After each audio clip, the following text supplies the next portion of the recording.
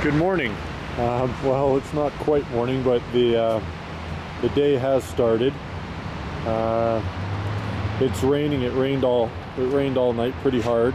It was. Uh, I used one of my canvases over here to create a bit of an umbrella to try to reduce the water from um, landing on the uh, on the canvas. Here's some of my paint.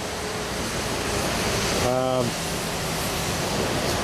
the painting itself um, in the way of the light here. Well, uh, try here. There you go. Maybe that will help. Uh, the, the street light's behind me, so you can't really see much. But that just gives you a bit of an idea of the painting itself. In about an hour or so, it will be uh, it will be morning, or the light will come out, and I'll be able to take some pictures of this properly.